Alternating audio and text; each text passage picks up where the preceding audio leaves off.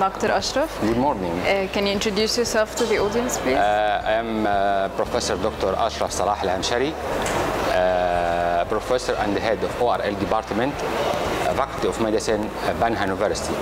Welcome. Welcome. Uh, what do you think about Rhino Egypt this year? Rhino Egypt is, is a big event in, in Egypt. Not one of the big events, is the biggest, biggest event in Egypt. Uh, in this year, uh, the presentation includes all the advanced uh, techniques and all the advanced operations uh, done in the world. Uh, the speaker from multi area in the world, uh, international speakers. Uh, I think it is it is very beneficial for the youngest and oldest doctors in uh, rhinologist. And I think it is uh, uh, it is a big star in, in the world.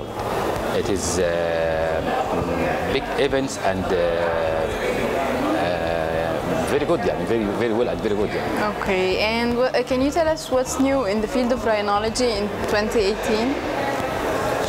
Uh, rhinology is uh, the, an advanced uh, science and the development in, in the science is, uh, is upgrading every year and year.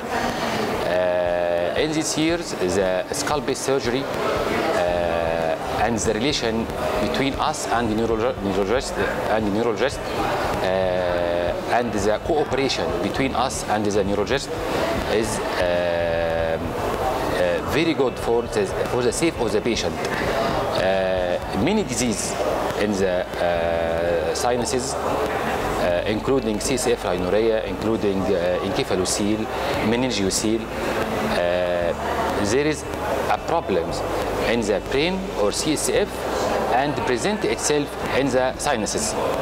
So the cooperation between doctors in different fields, uh, rhinologist and the neurologist, is very benefit for the patient uh, and uh, for the safe of the patient. Uh, in this year, the very advanced, very advanced courses about the CSF rhinorrhea and about the encephalocele and rhino uh, and uh, meningoencephalocele uh, and the technique of operation, uh, new techniques for operations, uh, very good and very helpful for us and for juniors. Thank you so much, Dr. Ashraf.